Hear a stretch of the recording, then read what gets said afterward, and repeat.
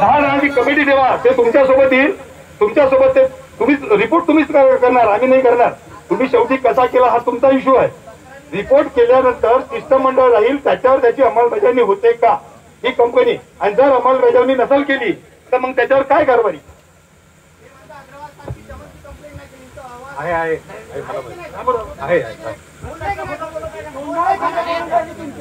शेतकरी लोकांना केले